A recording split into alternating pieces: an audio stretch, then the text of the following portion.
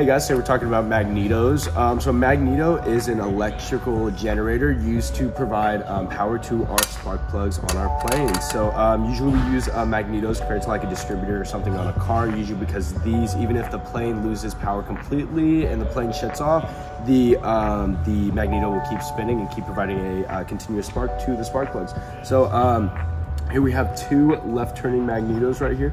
Um, usually, so this is gonna be a normal magneto. This magneto has an impulse coupling, which we usually use at the um, um, starting of a plane to get a immediate spark um, right off the bat. Um, right here we have a magneto testing tester.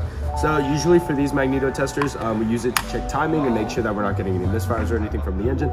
So um, usually if this was attached to the engine, to the back of the engine here, um, you would connect the black one to a ground anywhere on the engine. So we'll just kind of put that right there. And then this, oh no, that went off.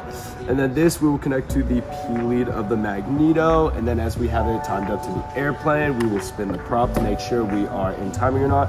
And then on here, you'll see whenever the contacts are closed and we're getting a spark of electricity or not. And then this will tell you whenever the P lead or the E lead gap, the E gap are open on.